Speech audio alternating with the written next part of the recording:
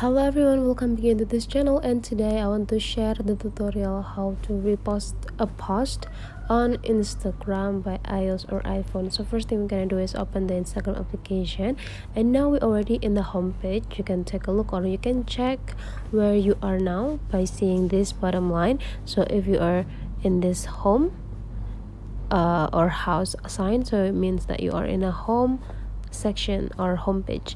So now the next thing we're gonna do is exploring the content that we want to repost. Just by go into the explore section.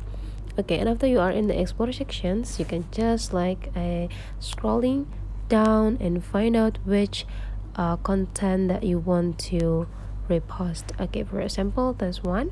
Since it's too cute so let's repost it into our uh, story so how to repost is just by clicking or focusing on this three button so from this button you just need to click this plane symbols.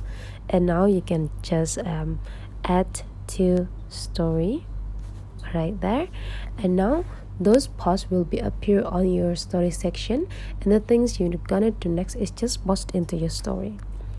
And now you just need to okay and now how to check the picture is already on our story or not. So you just need to click the story and you can see here the content is already on our story. And that's how the way you do a repost a post on instagram if you find that this video is really useful for you guys. Don't forget to leave some comment like and subscribe into this channel